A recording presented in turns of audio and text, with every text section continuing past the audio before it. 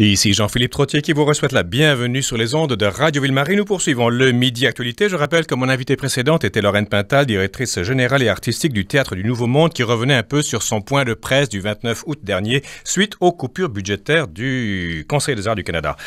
Voilà, il y a quelques bonnes lectures qui se perdent, notamment celles des moralistes français des 17e et 18e siècles. Voici les principaux noms. La Rochefoucauld, La Bruyère, Chamfort, Joubert, Vauvenargues. Leur lecture n'est pas toujours facile, ne serait-ce qu'en raison du style de l'époque, mais ces auteurs étaient avant tout des observateurs de la nature humaine et des observateurs impitoyables. C'est pour cela que je dis qu'à notre époque de relativisme et d'ouverture, leur lecture ne ferait pas trop trop de tort. Mathieu Bocoté ne s'y est pas trompé et se pose en moraliste à l'occasion d'une nouvelle particulière. Mathieu, bonjour. Bonjour. Avant de voir la nouvelle, euh, on fait une différence entre moraliste et moralisateur. Bien évidemment, bien évidemment. Le moraliste multiplie les observations sur la nature humaine, oui. des, observations libres, euh, faut-il le dire, qu'il enferme rarement dans un système idéologique clos, alors que le moralisateur est celui qui fait la morale tout simplement à partir d'un credo, d'un catéchisme, à partir d'une vision de la morale très particulière et qui cherche à rééduquer les hommes à partir de ses propres vérités. Donc, nous avons d'un côté l'observateur et de l'autre côté le donneur de leçons. Donc on, on, laissera les auditeurs juger si vous êtes de, de, dans quel groupe vous appartenez. Euh, Dites-moi une chose, pourquoi avoir écrit sur euh, le marché de l'infidélité? Alors, il y a une, une, entreprise qui se fait de plus en plus connaître, c'est un site internet, c'est ashleymadison.com. Oui. Et ce site propose finalement des services pour faciliter, favoriser, camoufler et dissimuler euh, l'infidélité euh, conjugale. Donc c'est un site qui finalement qui euh, rampe, qui s'adresse aux gens qui veulent l'infidélité conjugale et qui leur dit venez avec nous, ça va se faire très simplement, ça va se faire très bien, vous risquez pas de vous faire prendre, donc on peut par exemple fournir des faux papiers, des faux billets d'avion, des faux billets de congrès et ainsi de suite. Oh, c'est payant ce site ou pas?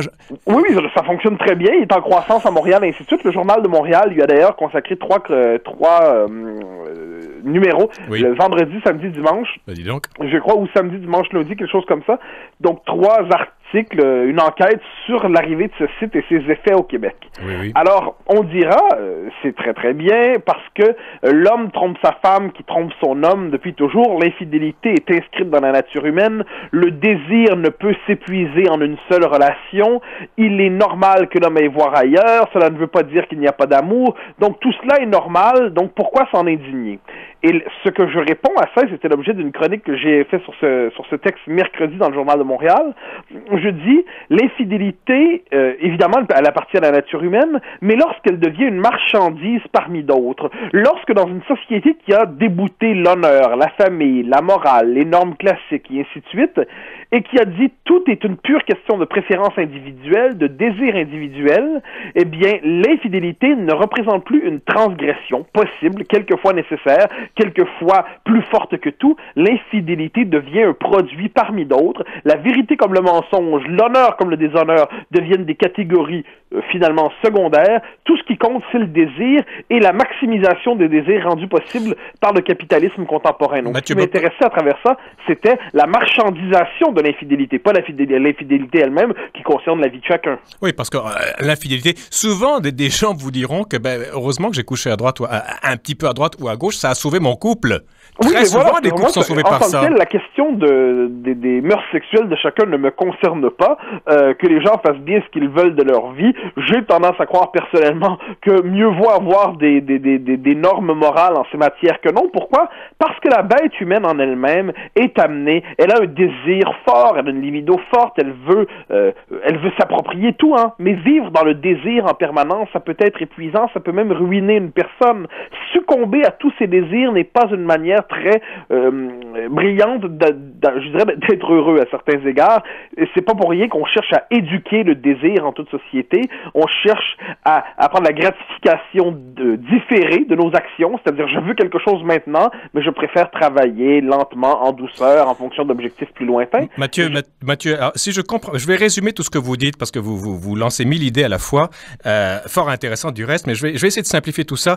Vous vous situez en amont du désir, alors que le site Ashley Madison et l'idéologie qui l'accompagne se situeraient en aval. C'est-à-dire qu'il y a un désir comme ça, alors ben, on va monter un site pour que ce désir puisse s'épancher, alors que vous vous dites non, non, non, non, il faut le civiliser, il faut l'élever. Voilà, c'est-à-dire il faut civiliser le désir tout en sachant qu'on ne l'épuisera pas. Il faut l'encadrer tout en sachant qu'il débordera, mais ce qu'il ne faut pas faire, me semble-t-il, c'est euh, c'est très étrange à dire, mais c'est abolir la honte. Ce qu'il ne faut pas faire, c'est abolir la morale. C'est-à-dire, il est bien qu'une personne qui décide de trahir, de tromper, ait honte. Il est bien qu'elle encourt des risques. C'est-à-dire, s'il n'y a plus de risques à commettre des actions euh, qui sont à tout le moins euh, contre, contre des engagements qu'on a pris euh, dans le cadre d'une union, de mariage, ainsi de suite. Je ne dis pas qu'il faut pas le faire, ça concerne la vie de chacun, mais il est normal qu'il y ait des risques à transgresser les règles. Et ce qui me fascine à travers ça, c'est la neutralisation des risques, c'est la négation du risque lorsqu'on transgresse une règle ou une norme. Autrement dit, c'est ce désir roi devenu tyrannique. Et c'est aussi l'incapacité en nos sociétés de poser des normes qui transcendent le désir individuel. Mathieu, Mathieu, Mathieu, Mathieu, mais euh, revenons au site Ashley Madison, mhm. qui propose des services de, de, de, facilitation pour mentir et pour dissimuler, etc. Est-ce que ce site ne répond pas en fait à d'autres sites? On entend souvent parler de ces sites euh, de détectives. Alors, euh, monsieur ou madame engage un détective pour parce qu'il ou elle soupçonne que son conjoint fait ci ou fait ça. Est-ce que Ashley Madison, c'est pas le pendant de ces sites ben, qui veulent contrôler je crois que vous désignez un autre problème qui est aussi important, c'est la culture du soupçon. Voilà. C'est-à-dire, nous sommes dans une société étrange où les individus peinent à se lier, hein, c'est la question du lien humain qui se révèle ici, peinent à se lier avec les autres parce qu'il y a premièrement, toutes les unions sont désormais contractuelles. C'est-à-dire, je m'unis, mais cette union, si elle ne me plaît plus, je peux la décomposer, la dissoudre le plus rapidement possible. Et ensuite, c'est le soupçon généralisé, euh, puisque nous nous unissons, mais toujours avec, un, avec euh, la possibilité que ça se décompose demain matin, puisque par ailleurs vous êtes incapable de faire des promesses durables, eh bien, je vous soupçonne et je vous enquête, et ainsi de suite. C'est la société Google. Hein. C'est-à-dire, aujourd'hui, tout le monde se Google à tout moment. Il n'est plus possible d'aller à un rencard sans s'être fait googler de manière euh, intense par la personne qu'on va rencontrer. Oh mon Dieu! Alors, je, je, reviens sur ce thème, parce que c'est très important de le distinguer. Que les gens fassent ce qu'ils veulent de leur propre vie, ne, ce n'est pas mon souci d'aucune manière. Ce qui m'intéresse, c'est à quel moment l'infidélité est devenue une marchandise parmi d'autres, euh, et de quelle manière, finalement, le lien se fait entre d'un côté cette contre-culture qui depuis 40 ans a déconstruit toutes les institutions morales traditionnelles, a libéré les désirs radicalement, et jouir, jouir sans entrave des années 68 et comment le capitalisme récupère ses désirs. Ça, c'est la question qui m'intrigue. Ensuite, euh, les, les commandements moraux de chacun euh, m'intéressent assez peu. Oui, justement. Donc, vous, euh, je résume encore une fois ce que vous dites, Mathieu Bocoté, c'est que c'est pas... vos considérations sont moins morales que le fait qu'on on, on mette la morale au niveau de l'argent ou de la marchandise. Oui, mais en fait, c'est que c'est l'idée qu'il n'y a plus de morale autre que la morale librement consentie. Il n'y a plus de normes qui, d'idéaux qui devraient informer, qui devraient éduquer, civiliser notre désir. Il n'y a qu'un individu tyrannique qui ne veut plus sentir d'aucune manière l'emprise de la société sur lui. Et cette tyrannie de l'individu soumis lui-même à son propre désir absolu et qui ne veut plus payer le prix de ses comportements quelquefois antisociaux, j'inscris ça dans une réflexion plus large, justement, sur les pathologies de l'individualisme contemporain. Et je m'inquiète de cet individu qui aujourd'hui trouve dans le capitalisme une machine incroyable pour normaliser la négation du vrai et du faux, de l'honneur et du déshonneur, qu'il ne voit plus rien d'autre comme principe que son propre désir. Et que le possible est l'impossible. Ce qui est bien, c'est ce qui est possible. Et oui, voilà, voilà, ça c'est très important. C'est-à-dire, il y a une formule très belle de, de, Camus qui dit dans un autre contexte qui nous dit un homme, ça s'empêche. C'est-à-dire, la civilisation vient en partie du refoulement des pulsions, de la capacité de calmer son propre désir, de ne pas y succomber immédiatement. Euh, c'est vrai dans le garde-manger c'est vrai dans une relation conjugale, euh, c'est vrai dans la rue, c'est-à-dire il y a un système de règles qui éduque et rend possible une liberté. Il y, a, il y a une différence, le midi actualité de Radio Ville-Marie, les gens voudraient, voudraient sursoir à ce désir, mais à midi, ils peuvent pas résister, ils s'intonisent sur le midi actualité à Radio Ville-Marie. Il y a quelques désirs plus légitimes que d'autres. autres, ah, et vous écoutez le premier d'entre eux. Mais, mais je reviens sur cette, je, reviens sur cette question plus large du désir de Radio Mais plus largement, euh, en mettant de côté cette question distincte. Oui, oui, oui. Ce qui m'inquiète terriblement, parce qu'évidemment, la question de la, de la, liberté ici se pose dans un rapport plus vaste dans la, de la société contemporaine sur l'éducation du désir, l'éducation aux valeurs, l'éducation à la durée, et surtout quand le capitalisme lui-même fait de la duperie, fait du mensonge un produit parmi d'autres. Je ne dis pas qu'en société, le mensonge n'est pas nécessaire quelquefois. Je ne dis pas que la duperie n'est pas nécessaire quelquefois. Je ne dis pas que la transgression n'est pas nécessaire quelquefois. Je dis encore moins que le sexe n'a rien à voir avec la transgression. Il faut vraiment avoir une mentalité un peu étrange pour croire que la sexualité et la transgression n'ont pas un lien intime.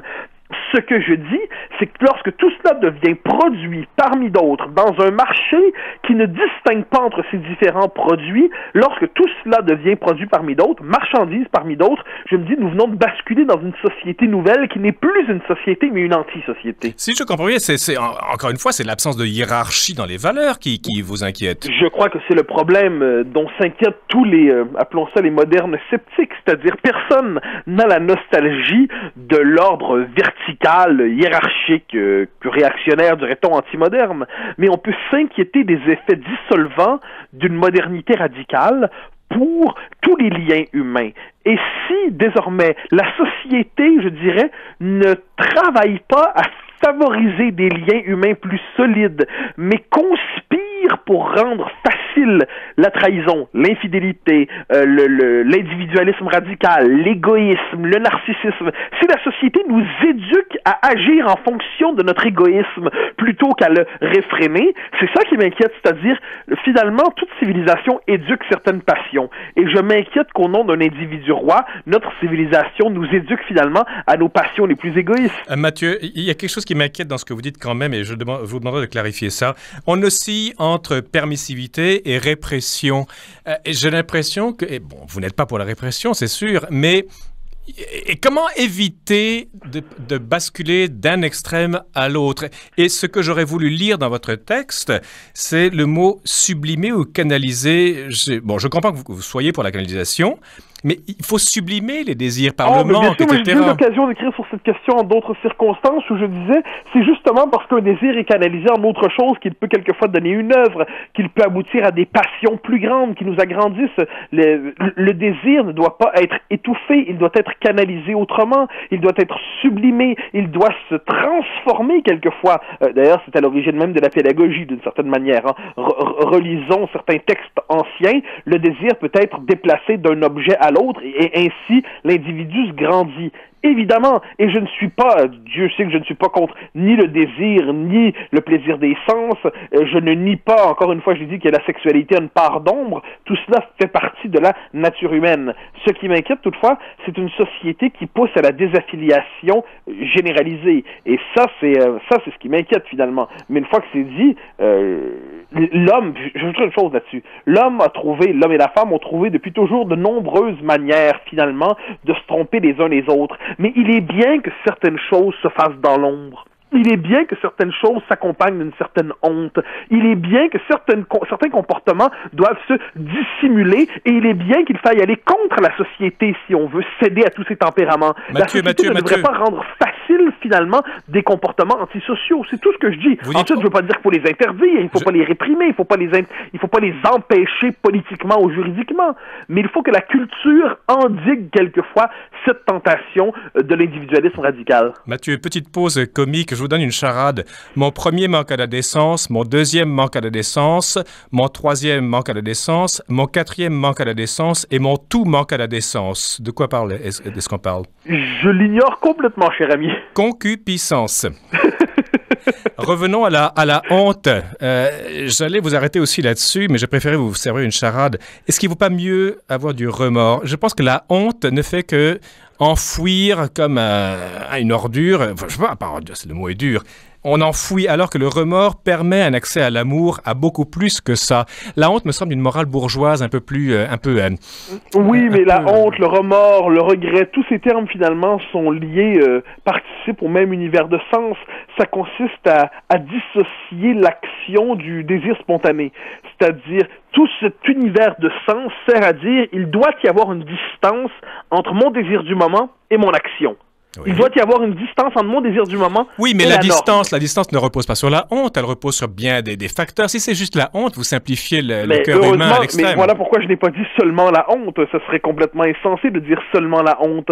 Mais la honte, par ailleurs, soit dit en passant, est un, sentiment qui éduque, soit, de manière plus large, tout en disant que ce n'est pas le seul. Par exemple, il est bien que quelqu'un, après avoir lu un très grand texte, se dise dois-je à tout prix euh, immédiatement le vomir, le critiquer, l'assassiner, ou n'ai-je pas honte devant tant de grandeur de me dire je suis son égal et je peux vomir sur qui je veux? Je veux dire, il est bien quelquefois de sentir qu'il y a des choses plus grandes que nous qui nous inhibent et qui nous éduquent. Une fois que c'est dit, il faut qu'il y ait plusieurs autres sentiments dans une société, mais je ne fais pas partie de ceux qui veulent congédier la honte euh, comme sentiment qui permet d'éduquer quelquefois, tout en sachant que ça doit être ni le seul ni le principal. Forcément, oui.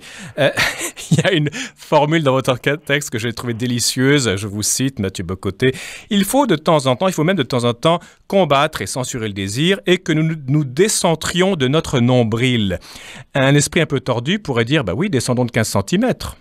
Oui, d'accord heureuse manière de le dire les choses, mais notez bien, cela dit, euh, que cette, ce nombrilisme terrifiant qui caractérise la société contemporaine est en train de multiplier les névroses. Hein. C'est-à-dire des gens qui ne sont plus capables de voir autre chose qu'eux-mêmes, qui sont en examen perpétuel de leur soi-même intérieur, qui sont devenus imperméables à la société parce que ce qui les intéresse finalement, c'est l'examen de leur intimité jusqu'à l'épuisement affectif. Eh bien, ne soyons pas surpris ensuite de voir dans cette société des gens de plus en plus en difficulté de se lier. Et je reviens sur ce mot hein, qui est fondamental, le lien humain me semble-t-il, c'est la question première du social et du politique. Comment se tisse le lien humain? Comment s'assurer qu'il soit durable, résistant et ainsi de suite?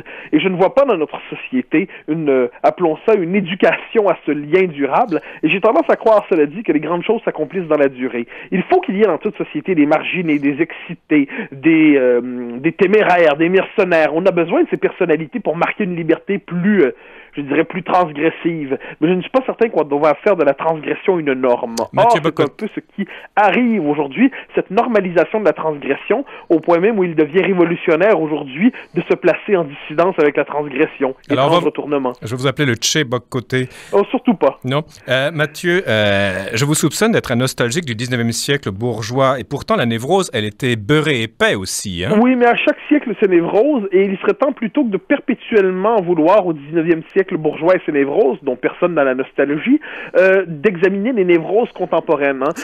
il faudrait voir finalement les névroses de l'émancipation. Euh, je suis certainement pas le premier à dire ça, mais je crois que c'est un, un, chantier de recherche intéressant et ça devrait être aussi un, un propos dans l'espace public de plus en plus porteur, les névroses de l'émancipation. Jusqu'où peut conduire une émancipation qui veut se délivrer de toute limite, de toute contrainte, une liberté qui ne veut plus entendre parler de rien d'autre que d'elle-même, jusqu'où ça peut conduire ces je dirais cette émancipation radicale qui déshumanise quelquefois? Alors il y a des névroses postmodernes et il serait une bonne, ce serait une bonne chose de s'y intéresser. Et on va se quitter en citant La Rochefoucauld. Je pense que vous citiez aussi l'hommage du vice à la vertu qui était l'hypocrisie. Et ça, vous êtes très La Rochefoucaldien. Je pense que c'est l'adjectif qui convient. Ah, j'accepte, euh, ah. j'accepte volontiers une telle description pourvu que ce ne soit pas la seule. Non, ben, et, une autre. Et j'ai probablement une vision finalement un peu plus heureuse du genre humain finalement. Je crois qu'il y a une forme de, de capacité, me semble-t-il, chez l'être humain à la grandeur, à la rédemption, à la bonté ordinaire qui m'intéresse beaucoup. Revenons au plancher des vaches, Mathieu. Quand les vices nous quittent, nous nous flattons de la créance que c'est nous qui les quittons. Oui, oui, c'est très, très juste. C'est très, très juste. Je crois que c'est une formule que j'ai déjà entendue de manière semblable, c'est-à-dire euh, ne plus avoir la même, euh, même la possibilité de mal agir. on n'a même pas la euh, noblesse de nos névroses, figurez-vous. Quelle horreur. Oui, mais dites-vous là-dessus, c'est une, c'est un plaisir que de pouvoir être tenté de céder à la tentation, mais c'est un, c'est une vertu quelquefois de ne pas toujours céder, parce que des choses plus importantes que le plaisir du moment peuvent exister. Je ne veux pas dire qu'il ne faut jamais céder à quoi que ce soit, loin de là, Mais, mais, mais, rappelons-nous qu'il y a autre chose que ce désir tyrannique et roi dans l'éducation morale des hommes. Mathieu, je ne sais plus qui est tordu, plus tordu, vous ou moi, mais c'est un compliment que je vous fais, que je me fais, peu importe. Merci ah, beaucoup. bah, d'accord, d'accord, mais je vous donne néanmoins le titre. Ah, au revoir Mathieu. Bonne journée. À venir, qui est Joseph Venn?